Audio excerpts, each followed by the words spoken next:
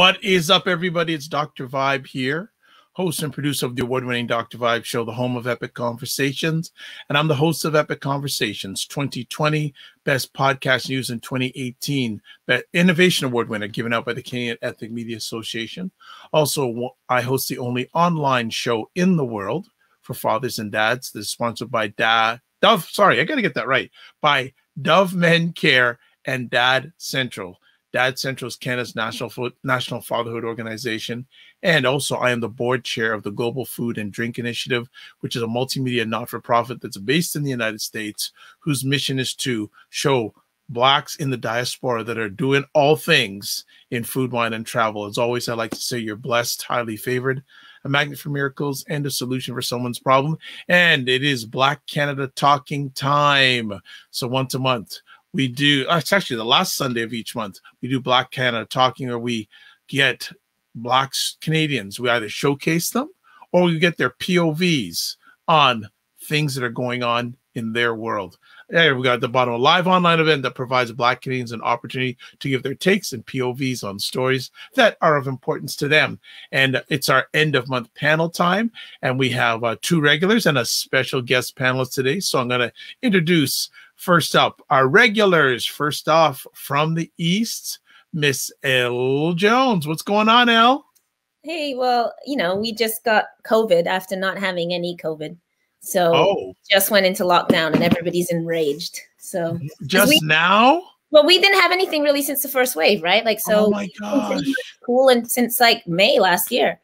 And we had a little spike before Christmas, and then people came from Ontario and didn't isolate. And spread COVID. So we just went into a lockdown. So everybody's really mad here. But you know, other than that, things are good. Well, I guess I guess my trip for the future east is not going to be received so nicely. So you, we were opening up, it was all good, and now we're community spread, and we're like as many cases as we've ever had in the whole time. So and how how long is this for? Well, we're gonna have four weeks to the twentieth. Oh my gosh. I'm sorry. But, I mean, was in the schools, like so we went from like no cases to like 44 cases like overnight, and then like you know we just keep going. So, but you're okay. Yeah, Otherwise. I know. I don't go outside. I'm. all right, all right. As long as you're safe, that's the most important thing. And I know you you know a good chef, but that's another conversation. all right. Next up, we got our dear friend Cesar. What is up, Cesar? Brothers, sisters, hi everyone. Pleasure to be here as always. Um, lots of things going on, of course. Oh, yeah. So many things to talk about, as always, regarding uh, the reality of being black, black in a black body, black in so many intersections, gender, but also anything and everything. That's why we're here, Pan Africanism all the way. Good stuff. And you're safe and okay? I'm okay. I'm still alive, thanks to the ancestors. Another day, and you know, when we think about the passing of so many of our musical legends that we grew up with DMX, Black Rob. I don't want to say too much on that, but respect and tributes to the families and also to all the activists, men, women, LGBTQ, of our people who are standing and doing the fight every day, but too often go uh, unknown or ignored. Respect. Good to have you here as always. And always. our special guest today from Ottawa, Sarah Onyango. Sarah, where are you? There she is. Bonjour. How are bonjour, you? Bonjour. No, I'm not in Ottawa. Je ne suis pas Ottawa. I greet you from the um, unceded and unsurrendered territory of the Anishinaabe Algonquin people, but on the Quebec side in Gatineau, Gatineau, ah. Quebec. So in Quebec, we also are in some sort of lockdown and we've been under curfew forever it feels like because we we can't be seen outside past 8 p.m i believe they had they had made it later and then when they saw people were abusing it they you know went back to the original and i i think people saw the protests in uh, quebec city mm-hmm. in my province where they went to the old uh, port and proceeded to basically try and uh, destroy and vandalize uh, a whole bunch of small businesses that were already struggling. And uh, I have to tell you, uh, uh, the people here don't just they do not take well to being told what to do in the first place. and then being put under curfew and lockdown. So, and the cases, yes, they've gone up as well um, here, and we're the uh, the community spread, and I think maybe in Nova Scotia it's the same thing. It's being fueled by these new variants of uh, concern. So, okay. but I'm safe and I'm Good. well. Merci Good. beaucoup. Uh, you you are not a regular with us, so if you can. Well, take... I'm a regular listener. Yes, like that's true. So you've, you've, yeah, and you've been on live a few times, and you, but if you can take like 60 seconds to just give a little background on yourself for our viewers, because for many they don't know the good person oh. that you oh. are. Oh, okay. Um, I'm a uh, community radio and television host uh, but most of my community media work is in radio with CHUO 89.1 FM in Ottawa, where you can hear myself and my co hosts, Adrian, Denise, and Patricia, and Jacqueline, every Saturday from 11 a.m. to noon, talking about different issues, including COVID and the mm. budget mm-hmm. and policing and all kinds of uh, uh, shows like that. I also host two other African shows, one in French and the other in English. And the TV show is on Rogers, Rogers Ottawa. And uh, yeah. All right. Well, thank you so much. Well done. Great intro. Great intro. Looking forward to another epic conversation today. And uh, we're going to start off with a budget. The, the, federal budget was released earlier on in the week. And uh, a very interesting document uh, money seems to be going out all over the place, especially to the black community.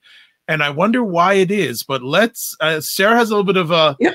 a, a, good case on, on the budget. So, Sarah, we're going to let you lead on the conversation. Yeah.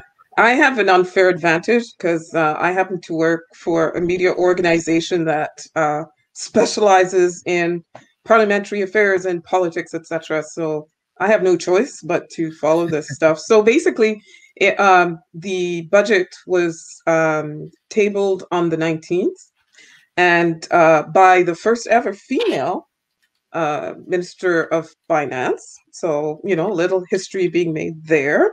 And um, a budget that had a feminist uh, bent to it. And we're going to talk about, you know, the commitment to childcare that is in uh, that budget, $30 billion for that. Uh, but uh, again, interesting to note that once again, uh, investments were made to address uh, issues that are critical to Black Canadians and uh, where we live. So,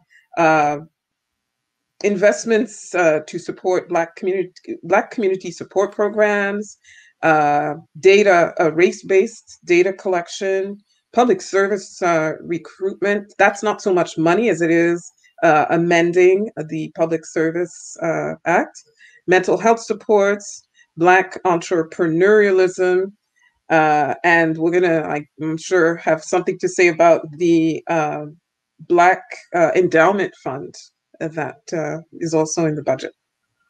And um, I'd like to really salute all of the Black-led organizations and advocates. There were over 200 Black-led organizations uh, whose efforts and uh, participation in uh, pre-budget consultations led to some of the me measures that um, are included in this budget.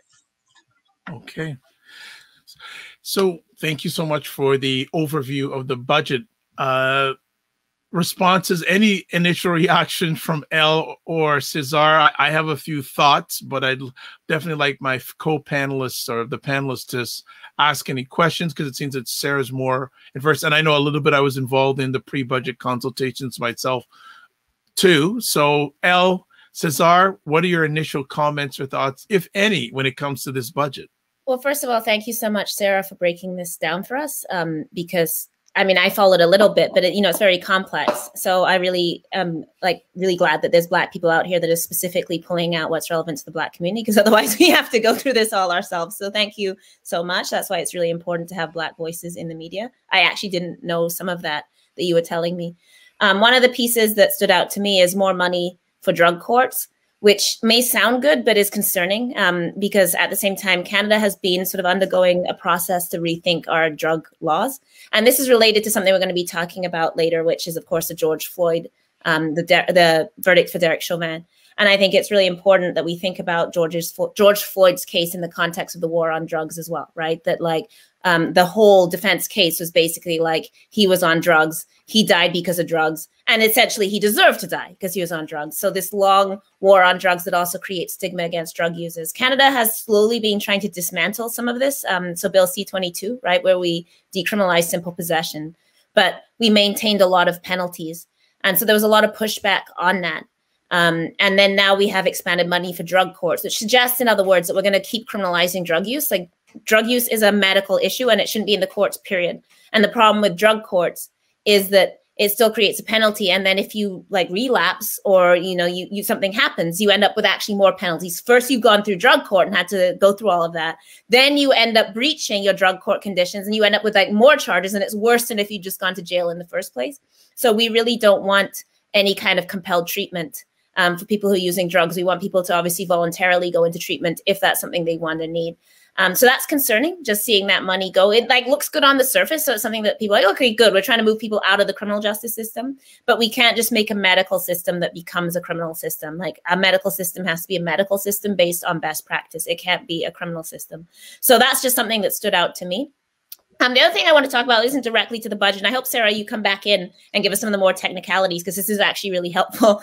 Um, but there's been a sort of broader conversation going on in the Black community about money. So um, BLM has been in that conversation, right? There was a um, sort of what has happened to the money with BLM Global Network. So not the individual chapters, not the general people that make up a mass movement, but specifically some of that leadership. And I don't want to get into that. Some of it's being fueled by the right wing. Some of it's obviously coming from Black people who have been launching critique for a long time. But what it raised for us is, I think, a really important question around just ethics and money and how do we be transparent with the community and what does accountability look like from Black organizations and people. And that's a conversation that's been really difficult to have in the Black community historically and always gets kind of co-opt like again with the blm conversation it originated with chapters that are trying to have that conversation. And of course it gets co-opted by white people who then it becomes like who has this house? Or you know what? It isn't really the conversation which is around when we have money you know how do we equitably distribute it what are the ethics and principles behind that um, the broader question is you know what does it look like in this time if you're making money from this movement you know what do you owe back to your community um, and those are really important questions so i think it's just interesting that we've been involved in a kind of broader conversation about what finances mean in the black community how we manage that what happens when we get our hands on money um, that may be also related to this conversation about the budget. Like, what does it mean when we're giving money to Black, which is like never any money? Like, I never want to buy into this idea that like the oh no 200 million. I always say these are rounding errors on reports. Like the government spends more to decide if they should shift garbage day than like they give black people to sustain our entire lives across canada. But even with that we've seen you know all the issues around who's black to get money and like what that looks like. So i just think that's an interesting conversation as well right? Like what are the ethics of money community money and collective money in the black community? And that's what i'll say and cesar but i also sarah i hope you can jump back in and give us some more particulars because that like i said that's been really helpful Cesar? So, um, thank you, Sarah. Thank you, El. Um, all right, let's get controversial. Some of the criticism that has come regarding the federal budget is that it's an electoralist budget. Um, there's a historical lens. Uh, Minister and Deputy Prime Minister Chrystia Freeland announcing it. You know, some people talk about a feminist budget, notably in terms of millions in five years to come regarding daycare. I welcome that, but it's an electoralist budget because it seems like, uh, pers- I mean, it seems at first glance like a lot of gifts to uh, minority communities and notably Black.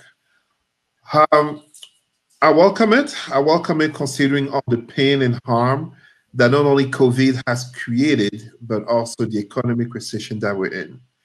In terms of the questions that come in terms of the potential management, the potential management of uh, money, um, this is really a conversation that, in terms of Black community, we must keep improving. Uh, we already had that conversation, notably regarding Black Chamber of Commerce, regarding even uh, other organizations that as Black people, we are too often aware of how public funds tend to come into organizations and too often they don't get redistributed. They don't get to be seen by the average Black person. And too many, uh, by nepotism, use organizations to uh, uh, enlarge the bank accounts for some uh, offshore slash interest back home in Africa and the Caribbean. However, in terms of all the pain that has come, at least since 2020, and notably with COVID, social determinants of health, I mean, this budget, in terms of trying to address Black entrepreneurship, I believe up to 200 millions, but also social activities and community organizations. And I must say, I think we have to, I don't want to say celebrate because I don't think it should be something to celebrate. It's something that should be a bare minimum, but at least recognition of a minimum $15 wage a day, which, of course, if you ask me, it's not enough, but it's better than what was prior. Uh, if I can quickly address the issue regarding uh, uh, the criminalization of drugs and regarding Black people, we must always be honest in recognizing that this is a colonial land, and by default, it's also a racist country let's be careful. Absolutely one of the best countries to live in, but systemic racism is uh, very much alive, where to the point the prime minister recognizes it. And as such, when it comes to drugs and being black, we basically live in a Canadian society, also the US and pretty much worldwide, where a white person with a drug issue is seen as a medical problem. Example, uh, opioids. A black person uh, as minimal as it is, let's say even marijuana, is seen as a criminal, and we saw it so well to give reference to uh, the Derek Chauvin uh, trial, where the defense bluntly put it that they were in, intending on sowing doubt regarding uh, uh, uh, Brother Floyd drug use, despite all the medical experts uh, clearly attesting that it wasn't the case. It's really a matter of culture it's a matter of societal conversation. Too often, it's not a matter of fact, it's not a matter of science, and it's not a matter of well being for each and everyone. So we must address this. But regarding the federal budget, it's better than anything. And if I can just one last thing, a lot of criticism must always be addressed when there is a budget, but we must always be fair. I find hilarious to have the conservative leader Erin O'Toole criticizing a federal budget when, as a black person, he doesn't even recognize systemic racism. And too many black conservatives tend to be quiet next to Massa when he basically doesn't even recognize systemic racism, aka he doesn't even recognize the indignity to the black skin and the skin of the family, friends, and other black people in Canada. I'm sorry. Erin O'Toole has no word to say regarding criticism of the budget for blacks and notably indigenous and others. So so I'm I'm I'm gonna stay away from you know the whole partisan thing and get right back. I'm not a liberal. I'm not a liberal. I just find it funny that he I, had that criticism. That's not what I yeah, yeah, no, that's not what I meant. But oh, anyway, um yes indeed, the 30 billion dollar commitment to childcare is going to be very helpful to our Black, mostly single moms, sometimes having to work several jobs and uh, living in poverty despite the several jobs because they just they cannot afford uh, upper quality childcare. The the problem though, you already you, you you well okay so this is to fund a national childcare program outside Quebec because my province we've had a subsidized uh, provincial wide childcare problem, okay? And the whole baby bonus and the whole thing. There have been measures for years to support families and having children. But the government, the federal government, is going to have to um, negotiate with all the different provinces, provinces, you know, to to put that in place. And if we go by what happened with carbon tax, bonjour la visite okay? Like it's it's not we may not even see it uh, before uh, a whole other term of the liberal this current liberal government if if it survives. Um, one uh, thing I really want to bring up is that really piqued my interest is this $200 million in 2021 22 uh, that is being given to Employment and Social uh, Development Canada to establish this Black led philanthropic endowment uh, fund, uh, which is going to in turn finance initiatives by local Black community organizations to address things like, you know, fighting uh, anti-Black racism and just improving the, the social and economic outcomes of the different communities. And like El said, we really don't have the greatest record in terms of, you know, the financial accountability piece uh, when, you know, money like that is is uh, is given out. And I mean, I I'm you know I'm a board member of a nonprofit, and I know for a fact we we have often had to say, nah, we're not even going to try and apply for that because look at the 10 pages of requirements, mm-hmm. reporting requirements we have to do. One, two, that's a lot of money for our little organization to try and match. We have to hire a whole other body just to be keeping track of this money. We no, we can't, you know, that sort of thing. So it's all well and good for them to to throw that money out, but if we don't have organizations that have the capacity, the wherewithal, the expertise, uh, and the trust, and the trust of the communities they're supposed to serve, we, will be going nowhere fast. And next thing you know, money will be returned to the Treasury Board of Canada. And then the government is going to say, see, look at these Black people. We had all this money earmarked. We had the, the public security money. Uh, I saw something, yes, the, the, the money to enhance, um, what is it, Communities at Risk Security Infrastructure Program. And that's to, um, to work on the security systems of, you know, like places of worship and community centers that are likely to be targeted by racists, you know, vandalism, destruction, etc. So yeah, you know, that's the first thing I thought when I, I saw these amounts flying all over the place is okay, A, who's going to be managing that money? How are they going to be able to manage it? And where are we going to see the the accountability? I'm uh, not saying we can't do it. I mean, we have organizations like the BBPA and the, the you know the Black North Initiative and Taboo and you know all kinds of different organizations that do effective work with the funding they get. Uh, but I'm, gonna, I'm just going to jump in for a quick second here. I think there's a, a few things, and I think it's another conversation about the whole funding process Yes. There's and there needs to be accountability on the receiver's end, but also on the giver's end. You know, I, I spent most of last year listening to and and Sarah was in a, number of these conversations with a number of black nonprofit, I will say legitimate organizations that are not being set up for success by the federal government for whatever reason. A lot of times it's processes. A lot of times they have to spend money that they don't have to get the money that they should get. And then you and, get the money late. That happens to us all the time. Way right. past when we needed it because it takes, I don't know, seven months or something.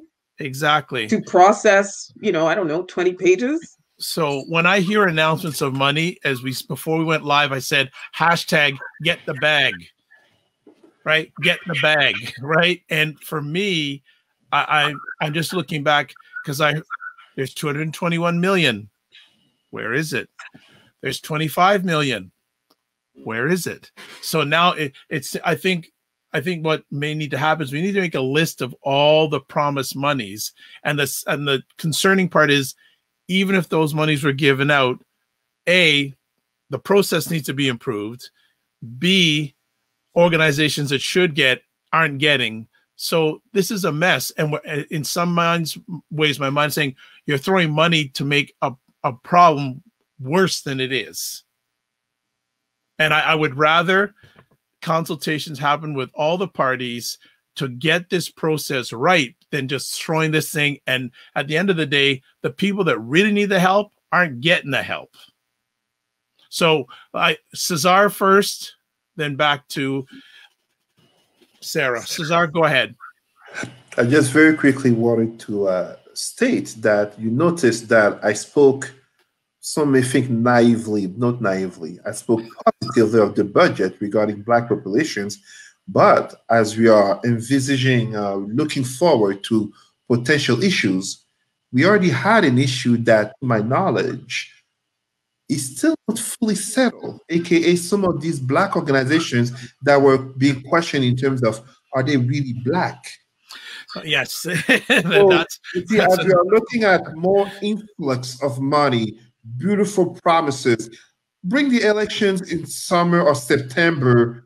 We know which party black most of the black uh, community will vote for, but did we get an apology? Did we really get fixes? Did some of those organizations that got slighted, aka insulted, regarding the racial belonging to a black uh, to the black community, such as Somalis, did they get any kind of compensation? I mean, we need. Are we really having these conversations, or really just like you know, forget that controversy from a few months ago? Look what we're promising to you, aka white savior complex, dangling a bunch of millions that may just bring more complications, especially in terms of returns, loans. You see all of these type of things, and then of course interest I mean, saying, you know, what what do I know?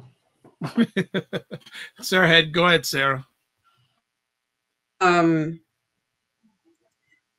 I think also what needs to happen is within our own Black community, we need to also do a better job yes. of information sharing because we're finding out here in, in, in Ottawa and in Quebec that a lot of the organizations that are not being helped or you know get left behind it's often because they don't get the information. The information is not filtering out from the gatekeepers of the information. The, the people who who know Ahmed Hussen and who hang out with um, Greg Fergus, my member of parliament, or you know who know the Michaëlle Jean Foundation people or know the BNI people, etc., etc.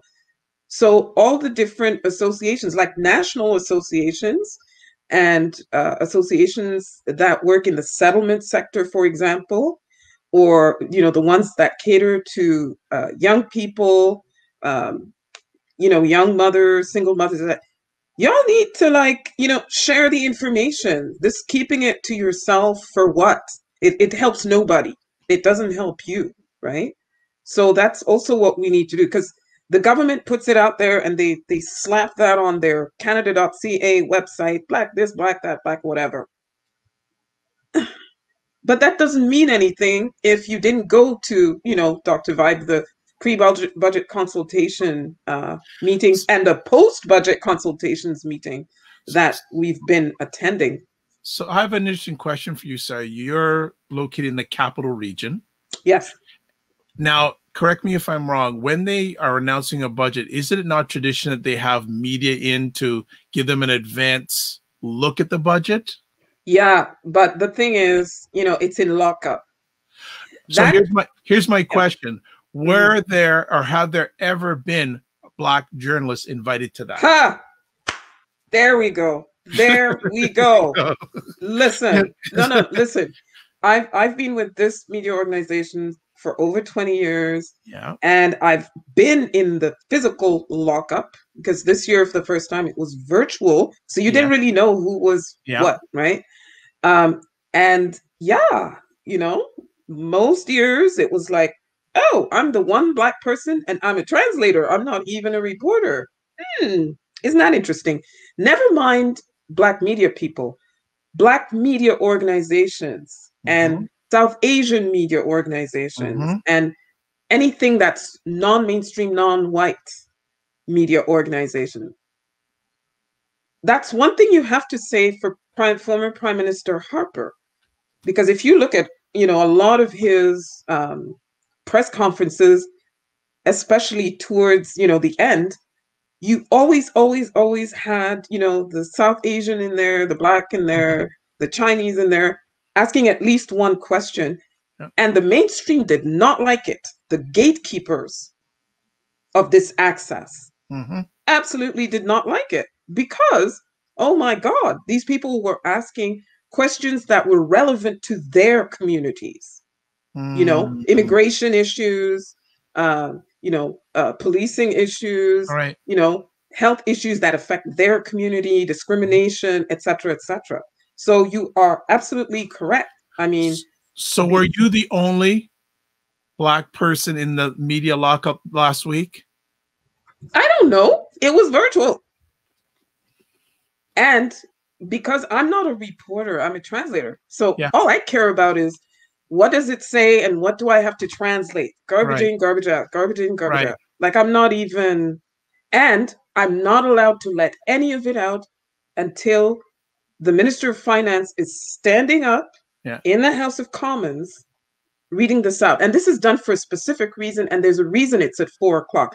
It's the, because the the the the stock market has closed by that. Yes, yes. So it's so that people can't use the information they know ahead of time to go and you know do all these transactions that enrich themselves which, and, which and has never friends. happened. Of course that's never happened right? So so so see to me if yeah. if they should have if if they care if the government cares about canadians you should have black representation at those lockups. Yeah. And you know what uh, i'm putting this call out to the canadian Associ- association of black journalists CABJ. Yep. yeah CABJ has now an excellent leadership they they seem you know much more active and proactive. Nadine, yeah, Nadine this Stewart. is something they because they advocate. So this is something they should advocate for. And a lot of the people who run that organization are current or former broadcast journalists who know exactly what you're talking about. Okay. So, you know, that would be something they could take on. Okay. El, anything you're wanting to add before we probably move to another yeah, our second conversation? Into the next conversation, because I, I think Sarah's point also around um, information sharing and gatekeeping is a really important one. And it takes us into something about this moment, right? Because it's not just with the budget that Black people are finally getting, you know, some forms of look in. It's like universities, everybody's committed to 12 hires, 18 hires, all these big hires coming in. I'm like, where are you going to get the Black people from? You know, but then uh, like you kicked us all out years ago. You know, you wouldn't give us PhDs, you wouldn't give us jobs. Everybody left to go do other things, and now you want black academics. And this is what Cesar said as well, right? It's actually a really sort of painful gaslight of this moment that for so many years, it's not like black people haven't been around doing things, qualifying for things, and they never wanted us. We were garbage and worthless. And now suddenly in this moment, because of PR, not because our lives matter more, suddenly this group and that group and this institution, everybody wants black people. And they never come and say, you know, I'm really sorry that five years ago I rejected your resume and you were qualified and now come back in and here's some reparations, right? Like that doesn't happen. They're just like, oh yeah, now we're hiring people. I'm like, what about all the people you threw in the garbage can? like, why don't you go back to those people that never made your short list, that got their resumes thrown out, that never got the grant? So um, but then there's that bigger thing of the way that it forces us into competition with each other, right? So mm-hmm. if it's like a black hire, then you're suddenly competing against all these other black people. And yeah, there's this like, do you like want to get yours? So do you hoard that to yourself and try not tell people? Or do you like, which is the better way, obviously, act collectively, inform each other, try and get everybody in. But it, like, and like one of the dangers is that when we're given these crumbs and this money and that money and we have to do it against each other it forces us into competition with each other. And actually can become a huge divide and rule right? Like who who got this money? I didn't get that money. Okay so my media organization matters because i got government money and i didn't. So you know like and then who has access? So yeah another question that i think as a community we have to sort of think about too right? Like how do we act collectively in the face of um, you know the pressures now that like if you get yours in this sort of two year window that we're going to have like do you scramble for yours or do we try and you know do it for the whole community right? well forget the two year window because an oh. election's coming. So Hello. yeah exactly. so, so, so that's another thing too an election's coming. So whatever time frame this money was scheduled to come who and i'm I, i'm just saying no and this happens over and over again when is it going to come? And a mind this is my question to all of us what have we learned during this last year about us and are we willing to do better and it's because, because the game is the same we have to change But the one of game the is the game is still the same. We're, we we need to play chess, not checkers. and one of thing with um no, I didn't mean to keep interrupting you. Sorry, you you speak no. more than me, so when you pause, I thought you were done. I'm sorry. No, it's okay. I don't pause, so I'm confused. Okay. who pause when they sleep. Um, no, uh, I was going to say that this is something to move into the George Floyd verdict. Is Yeah. so many white people in particular have tried to treat that verdict like, okay, so now the system showed that it can like be good. So good, we don't need to like do all these major changes. All we need to do is command. Like that's one conviction. Uh, and I saw so much rhetoric coming from particularly yeah white people like ostensibly liberal rhetoric. I don't mean liberal government. I mean like liberal as in like Martin Luther King white liberals.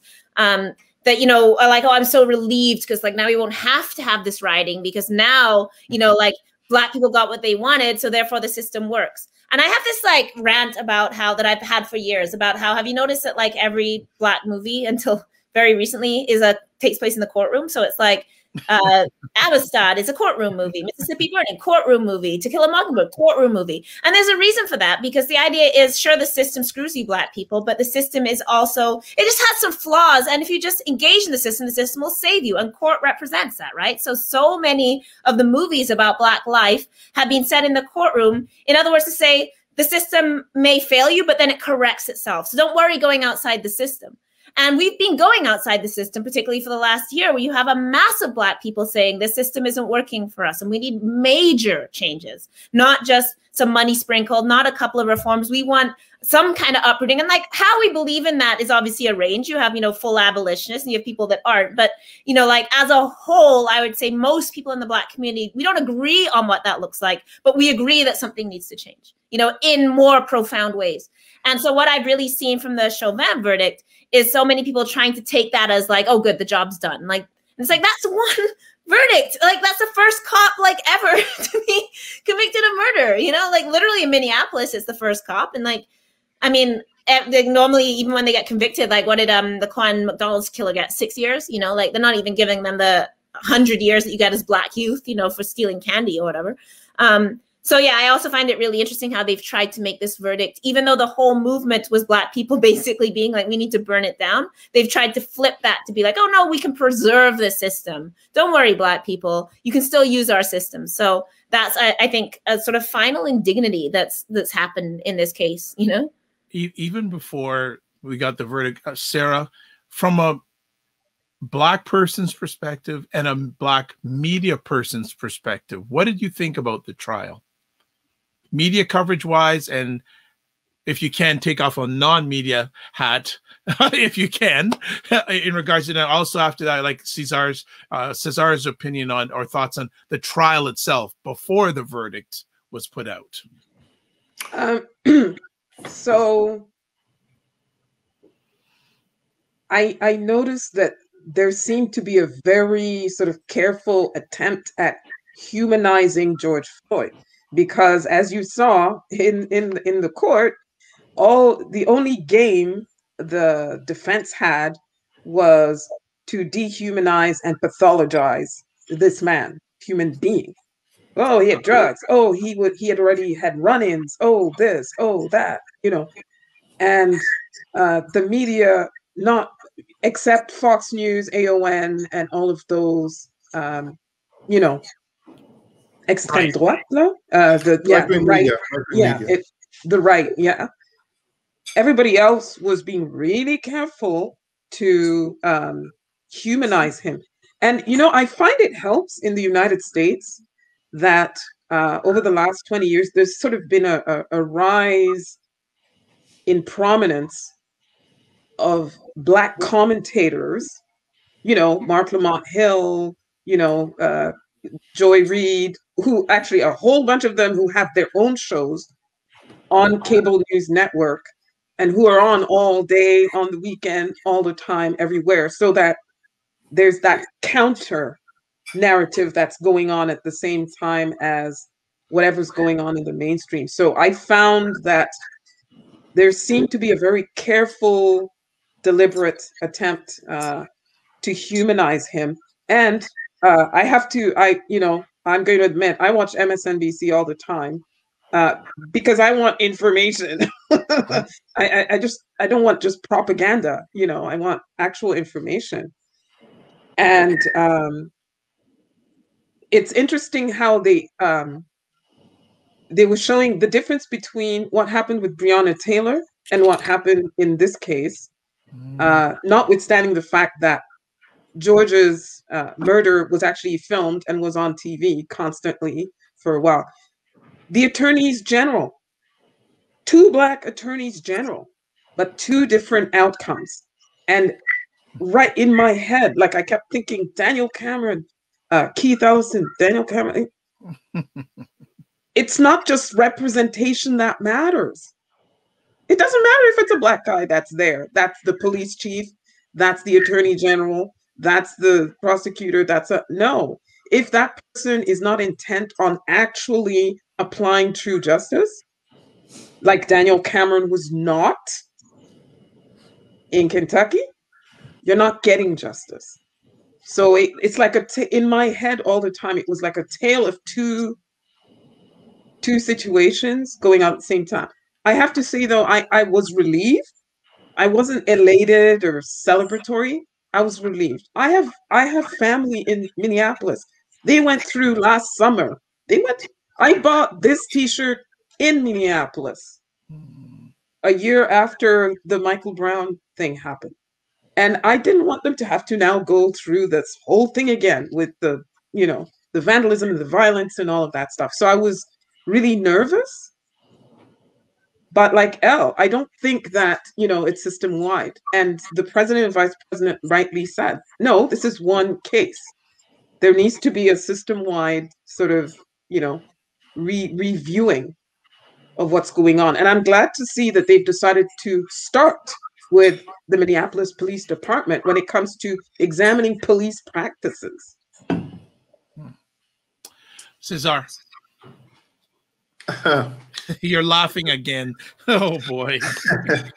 Thank you, Sarah. I had not thought of the I had not thought of the Breonna Taylor and George Floyd at the same time in terms of contrast, but I love what you said about Daniel Cameron. And, you know, as a Pan Africanist, let us never forget that our heroes, our leaders, our women on the battlefield, uh, the fathers of independence of African countries, and so many Caribbean leaders and Black American, Afro Brazilian leaders were betrayed by whom?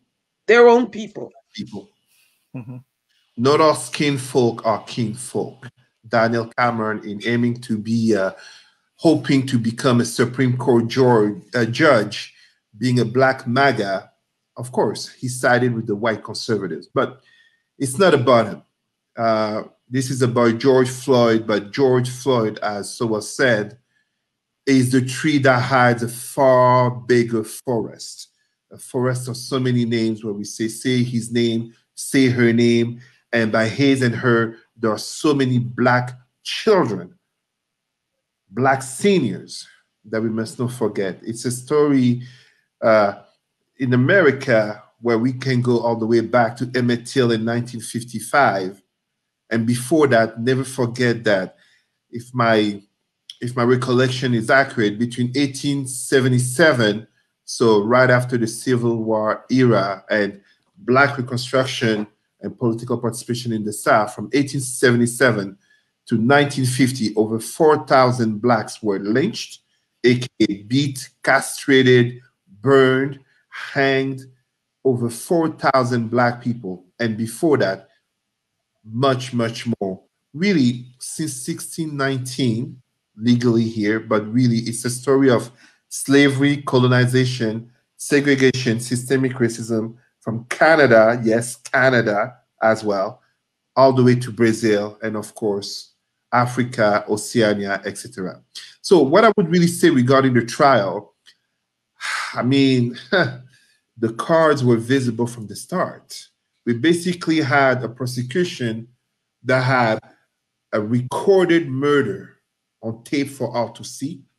And we had a defense that very bluntly intended to sow doubt in terms of the action of a white male cop versus pathologizing, criminalizing a black man, aka making him pass as uh, a drug user. And as we're saying, we were talking about the accountability of our own black people. I hate to say her name, but the Candace Owens of the black community are nothing else but the black skin white mask. And when I say white mask, I mean a white KKK hood, agents of white supremacists in the black community will further participate in dehumanizing the George Floyd, the Breonna Taylor, the Sandra Bland, the Trayvon Martin, etc. Everything was plain and clear. Excellent job for the prosecution. They had professional, uh, Dr. Tobin, the pulmonologist, but also uh, Dr. Baker, uh, the, the doctor who basically conducted, conducted the first autopsy. And beyond, of course, uh, George Floyd's um, uh, girlfriend, but also, uh, you know, the witnesses, the tears, the humanity. There's something I'd like for us to always remember. Um, George Floyd's girlfriend, if I'm correct, um, I'm trying to make this connection here that I believe I read. George Floyd's girlfriend was, um, I believe she was Daunte Wright teacher, she had been Daunte Wright's teacher. And let us go back to 1955, where Emmett Till murdered, and decades later, the woman, the white woman, one of those original Karen who lied regarding uh, what she went through. She was still free, but Emmett Till, his death inspired notably the civil rights movement and a certain Rosa Parks. Yes, it was arranged at Infinity War, but it really inspired them to say, enough is enough. We are not going to the back of the bus. Ultimately, George Floyd, the trial, the Derek Chauvin trial. Derek Chauvin is just one supremacist, racist, murderous white cop among so many others. And let's not forget, every day in the USA, at least three people get killed, and we can bet at least one of them is a black person.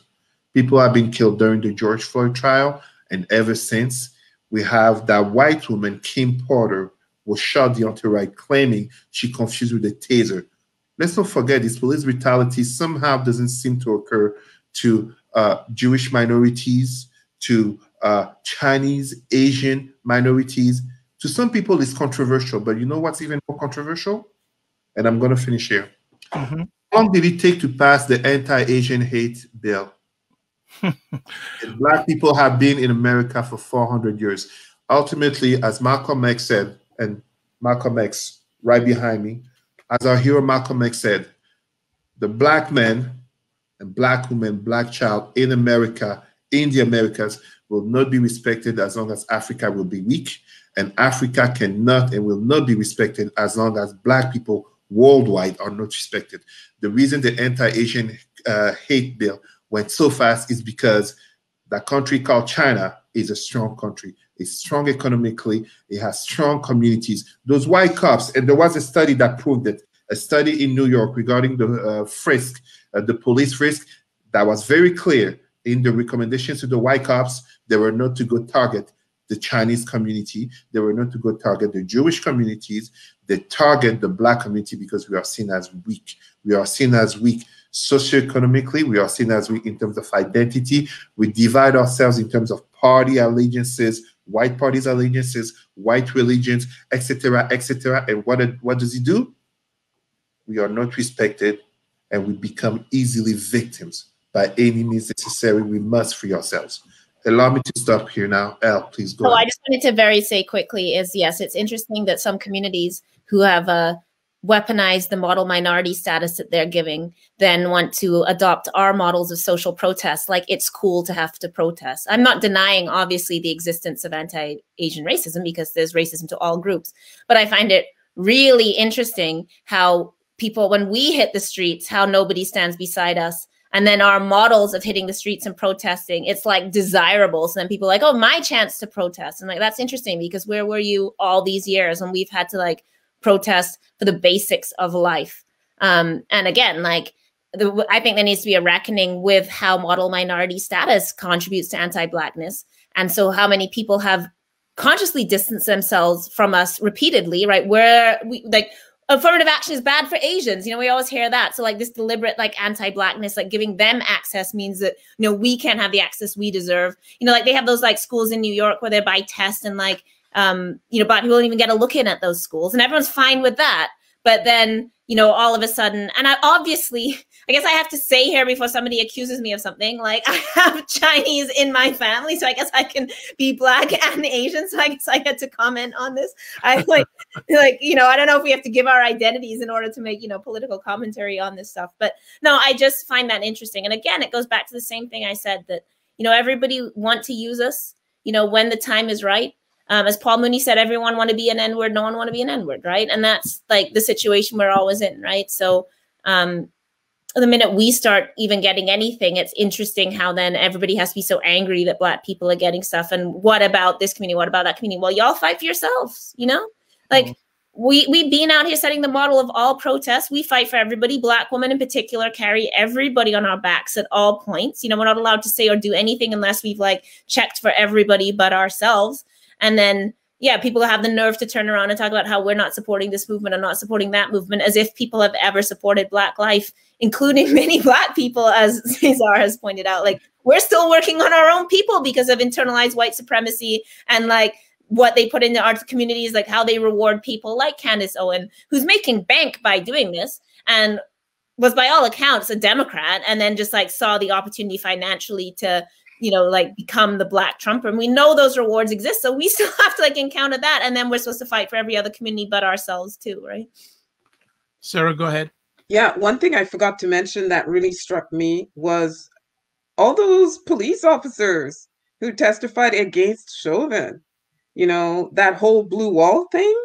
Uh, yeah, it crumbled for a minute, but that was a sweet minute mm. uh, to see, you know, uh, black current police chief saying, yeah, that's not how we do. That is wrong. Hmm. And white ex police chief saying, uh, no, that, no, that's, that's not proper police conduct. Hmm. And more of them just kept coming and other experts saying no. So I'm hoping that this is sort of a, this is a signal for the good cops that if more of them would band together and you know be doing the right thing maybe there might be a shift. And another thing that was not lost on me while this trial was going on uh, of derek chauvin a former uh, black female police officer she finally like a, a, black police officer who did do the right thing. In buffalo. where where yes, in Buffalo, Cariol, I forget her last name, but her white male partner was roughing up this one guy that he was trying to arrest for whatever reason. And she got on top of him and, and pulled him off. He punched her. She got fired and she was deprived of her retirement, of her pension yep. for 15 years. Yep. And only like during this trial, it that's the story kind of got buried. So just the juxtaposition of all kinds of things. Breonna Taylor, Daniel Cameron, uh, Keith Ellison, Chauvin, Cariol in, in, in Buffalo, and then of course Daunte Wright getting assassinated yeah. around the same time. And I think it's like 64 people got killed during this trial, like black people. Yeah. Like yeah. it's a huge amount. So they kept going and this is the thing is I am I cynical reading as they were willing to throw Chauvin under the bus to you know preserve the bigger system, right? So then it's like, look, I mean, the same thing can happen in Ontario with um you know Doug Ford passing you know these off rules, and then they're like, even the cops are against it. You know, it's yes. like the cops yes. terrible PR. It's not like cops are against stopping people; they're not stupid. An institution knows how to defend itself and preserve itself. Um, Michael says this, the prison lawyer, right? That uh, sorry, Cesar, I'll finish this early. Oh, no, please go ahead, go ahead, go ahead, finish. The crisis is part of the life of an institution, and that institutions experience crisis, and then they use that crisis to reform themselves, and that is what extends their lifetime, right? Um, so on the other side, people always say to activists, like, don't waste a good crisis, right? That when there's a crisis, you have to sort of try and get in there and push things and try and push the crack, because if you don't, the institution will reconstitute itself and claim that they learn from that crisis, you know, but what they're doing is preserving themselves. As we're saying that, and, uh, you know, Sarah making the connections between all these different events, El, you talking in terms of the institution preserving itself. I'd like to give a big shout out to one of those, uh, I don't want to say unsung hero. I'm going to say it's important to say her name, but she's alive. She's not dead a young 17 year old Darnella Frazier will be. Yes. She stood there bravely despite the cops, the four cops. And by four cops, the Asian cop who was being very threatening, basically keeping the gate for Chauvin to commit the murder with the two other cops assisting him. Darnella Frazier kept recording.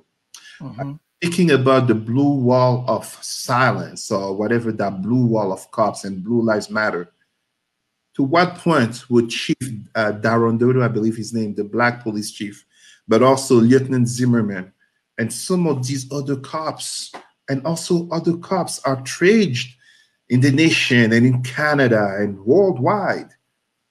To what extent would they have been uh, outraged and would they have come to speak up against the practices of Derek Chauvin that dishonor the badge if that young 17 year old had not stood there to record it? If we did not live in an age of social media and technology as internet to air it. Let's not forget uh, Rodney King, 1992.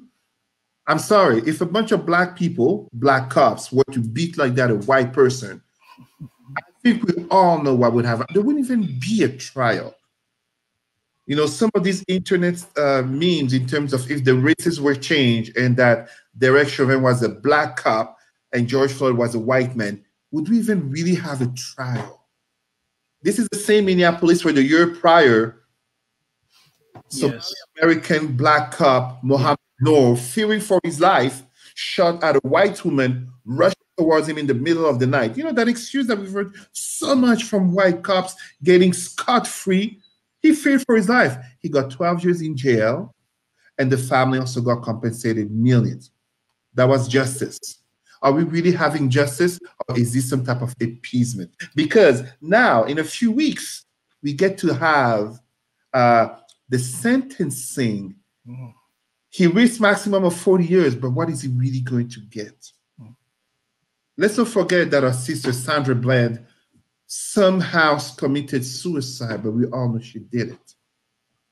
This is the same system that may sacrifice one of its own, aka Derek Chauvin, but if there was no Darnella Frazier to record it, mm-hmm.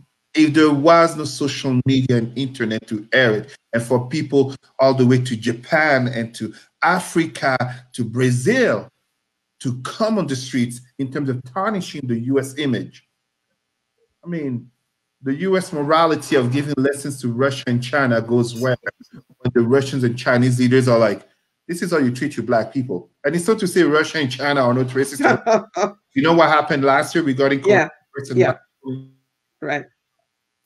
I froze last. I, I was going to jump in. Interesting.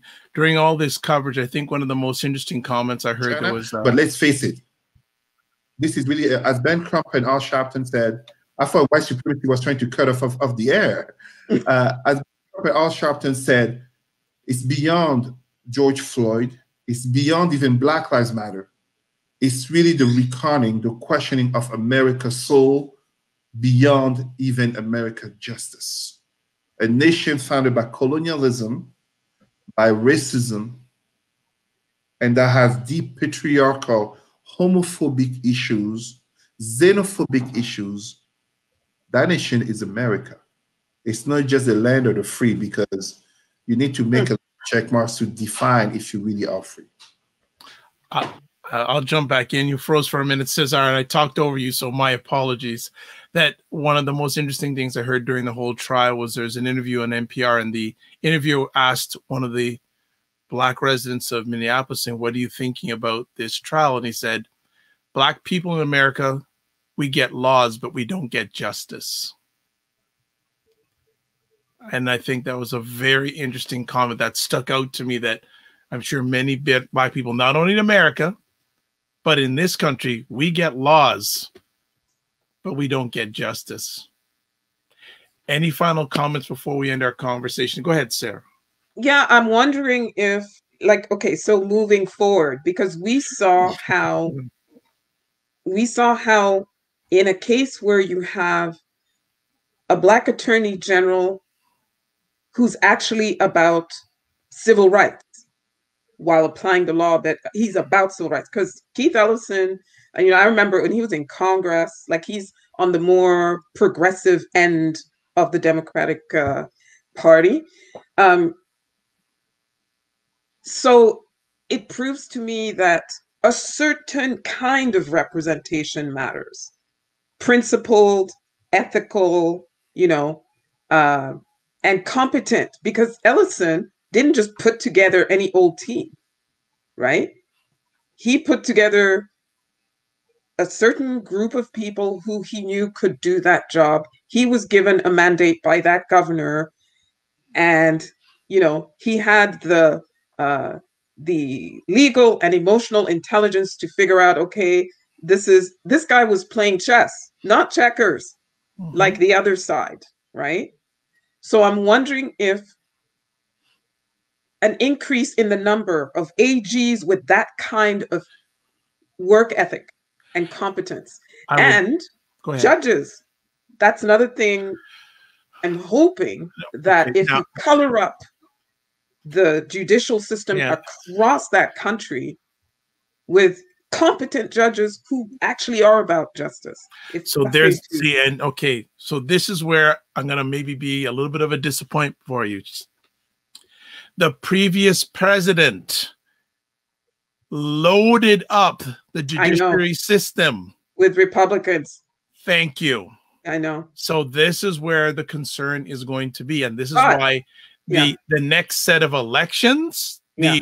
midterms, yeah, it's going to be a real fight because again, the the uh, the progressive state of Minnesota is not universal no, throughout the. United States, and plus, look, here's another fact, and I don't want Americans to get mad at me, but there's still states in America where slavery is not, and uh, not slavery, hanging is not illegal. Yeah. Yeah. So my concern but, is the judicial yeah. system yeah. is all over the place. Yeah. However, one thing that I'm really crossing my fingers, hoping and praying that uh, I think it's assistant attorney general or the the person that Biden wants in charge of the civil rights division Merrick at the Garland. Justice Department. Is that Merrick I, Garland? No, he's the attorney general of the United he's, States. He's a big player too. No, no, I'm talking about the Civil Rights Division. Yeah. Which deals with cases like this, you know, uh, police brutality cases and anti-black hate and white supremacy and that sort of thing. The Republicans are trying to not have her confirmed because they know what she's going to do once she gets in. Yeah. So yes, it's it's you know, it's disappointing that there aren't more, However, if right at the top you have someone who is going to empower AGs like Ellison, etc., across the country,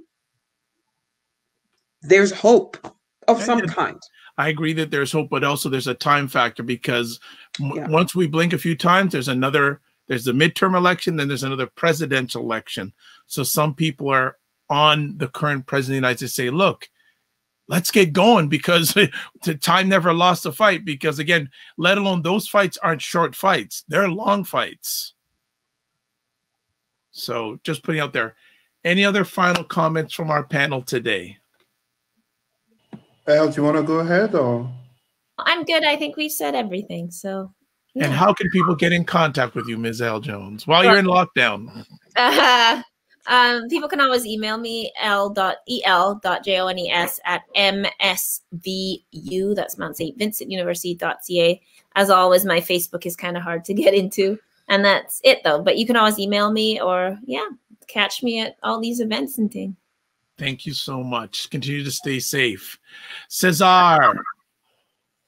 Um, uh, first of all, I'd like to report some, uh, I put probably a white supremacist in the comments by the name of Paul Graham criticizing uh, uh, activist player LeBron James. Uh, Paul, you are I, I see you. I, I, we, we have to call out the racists. We have to call out those that, beyond the difference of opinions, uh, try to always push back on any Black advances. This is what always happens.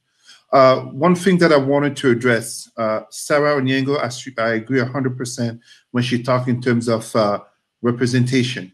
Uh, Pan-Africanism is not simply about having inclusivity of Black people in the place, it's about what type of Black people. And as such, remembering some of our leaders, uh, such as uh, Fred Hampton in the United States, but also Patrice Lumumba and so many others, it is not so much that our lives and our destinies are to be defined by white, Arab, etc., non-blacks, but it's for us to define them. And as such, in the black community, we need to keep elevating the identity, the racial pride, the ideology of our black children, youth, but also adults to dare to be black unapologetically. We saw it very well as Sarah was talking about Daniel Cameron and interest, uh, political interest in the MAGA movement. And we saw it so well with the defense, the prosecution, sorry, uh, in the Derek Chauvin trial, in which fact, science, the evidence that everybody sees was being addressed. That's basically what I will say, and I'm reachable, of course, uh, my Facebook, Cesar Rimy, R-I-M-Y, uh, people can reach me there anytime. No problem. And finally, to our special guest of the day, but a special guest, special friend in our hearts, Sarah Onyango. and big uh, fan of the show. So this yes, is kind of I'm geeking out support. here. Yes. Uh, yeah, you know, never mind the haters. There's always going to be, you know, the white supremacists and the haters who are going to uh, insult our athletes, and thank God for them. You know, LeBron, our Toronto Raptors, et cetera, et cetera. More power to you. Keep doing what you do, Colin Kaepernick, because we need everybody, all hands on deck here. So I can be reached um, at the Black on Black Hotmail. Uh, it's uh, Black on Black 891 at hotmail.com. And like I said, you can hear our show every Saturday from 11 a.m. to noon at CHUO 89.1 FM in Ottawa or online at chuo.fm. Thank you very much for inviting me. Honor and a pleasure. Thank you so much. Thank you so much. Well, it's Dr. Vibe here. I'm the host and producer of the award winning Dr. Vibe show, the home of Epic Conversations. I'm the host of Epic Conversations 2020. Best Podcast News Award winner and 2018 Innovation Award winner given out by the Canadian Ethnic Media Association. Also, once a month, I host an online broadcast for fathers and dads. The only one in the world that is sponsored by Dove Men Care. It's also co-sponsored by Dad Central, Dad Central, Canada's national fatherhood organization. And I'm also the uh, the board chair of the Global Food and Drink Initiative, whose goal is to showcase Blacks in the diaspora that are doing it in food, wine, and travel. As always, I'd like to thank everyone who watched live or on the replay. It's appreciated, not taken for granted. Big also shout out to BIA Media. And as always, when I close out, I say live your life as a dream. If you can dream it, you can make it. Sometimes you have to get small to get stronger. Block assumptions that aim bigger, aim better, aim higher, aim wider. Love, faith, and respect. And remember to give yourself grace. God bless, peace well, keep the faith, and take care, everyone.